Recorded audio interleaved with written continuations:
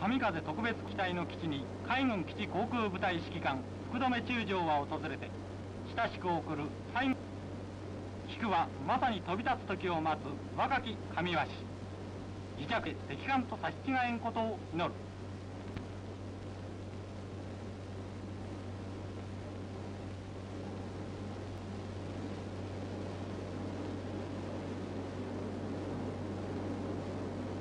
艦船はこの海面にある。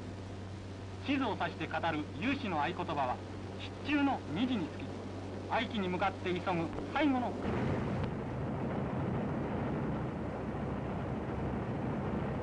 心発心発。ただこの日を期して隊員たちは激しい訓練を続けた。実践にも増した激しい訓練を続けた。そして今訓練さながらに突撃の時は来た。手を合わせて一億の神は祈る。中の成功